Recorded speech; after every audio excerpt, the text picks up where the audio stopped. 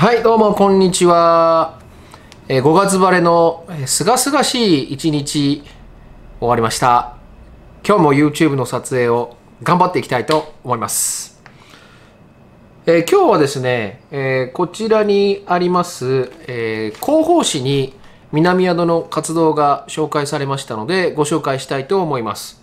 こちら、あの、ここ北通信ハートフル6号、2020年3月に、え刊行されたものだそうです。えこちらですね、え財団法人、えー北区文化振興財団というところの、え広報誌になりまして、えそれの中でもですね、北区の文化芸術活動の拠点として、えーここ北というような、えま、活動を行っているところですね。えーその中の、えー事業の一つで、えーアーティストバンクというような、えー事業がありまして、こちらをですね、えー昨年のお祭りの時から、ちょっと、えーご紹介というか、まあ、えーご連絡させていただいて、ご縁がありましたので、えーそこからですね、昨年お祭りの時に太鼓を叩いていただいた長野さんをご紹介していただいてですね、太鼓の演奏を、えー、みこし出発前に演奏してもらう、えチャンスに恵まれました、えーその時の様子が、えーこちらの方に掲載をされております。ですのでちょっとこれを読みたいと思います、え9月は秋祭りのシーズン、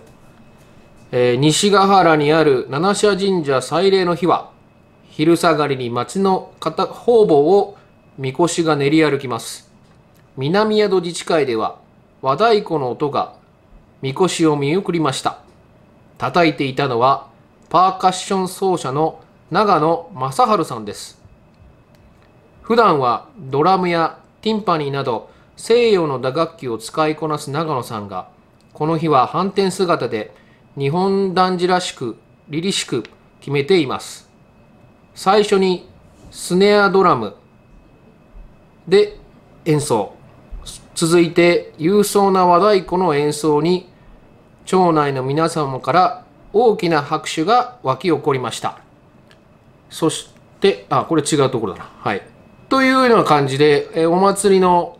えー彼の演奏の状況がこのように紹介をされております。はい。えー昨年長野さん来ていただきまして大変好評でした、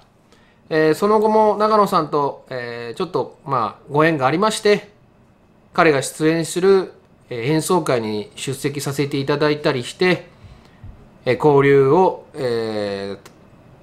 まあ、持っておると。で来年あ今年ですね。えー今年も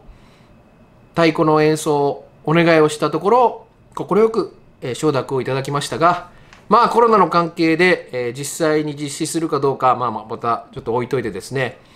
まあ機会があれば、えー今年また来年と太鼓の演奏をしてもらえるということで大変楽しみにしております